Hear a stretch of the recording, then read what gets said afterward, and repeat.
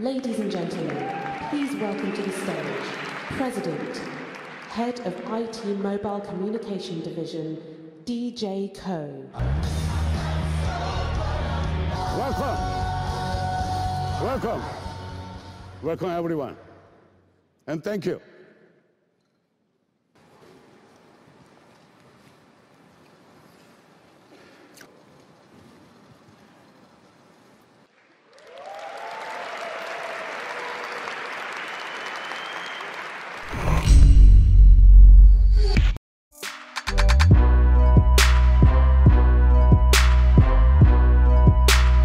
What's up guys, Sal here. So the Galaxy S10 launch is right around the corner. We know everything about this device. This has to be the most leaked smartphone in recent years, except the Pixel 3 of course. And now Samsung has prematurely aired a TV commercial for the Galaxy S10 and the new Galaxy Buds in Norway. The trailer says absolutely nothing new. It just reaffirms everything that we've been talking about on this channel for months. It also confirms that you'll get free Galaxy Buds alongside with the Galaxy S10 and the S10 Plus if you pre-order the phone of course. Course, but it doesn't mention the Galaxy S10e, which makes me wonder the Galaxy S10e users may not be getting the free earbuds. It's just speculation, but we'll know for sure tomorrow at the Unpacked event. Here's the full official commercial.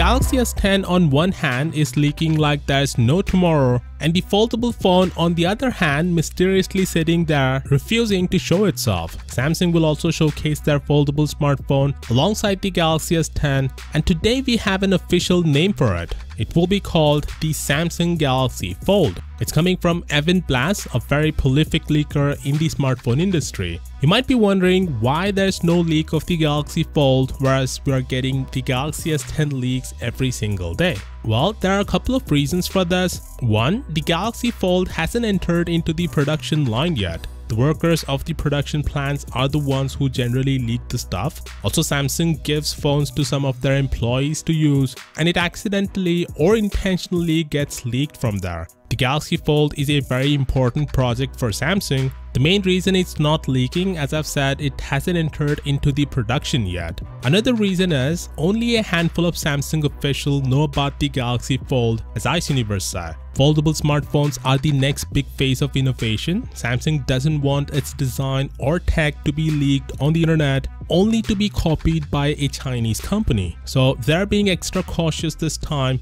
and it absolutely worked for them. We know nothing about the device, which makes tomorrow's Unpacked event even more interesting, even though we know everything about the Galaxy S10. Anyway, make sure to subscribe to keep up with all the coverage on the Galaxy S10 as well as the Galaxy Fold. And as always, I'll see you all tomorrow. Peace out.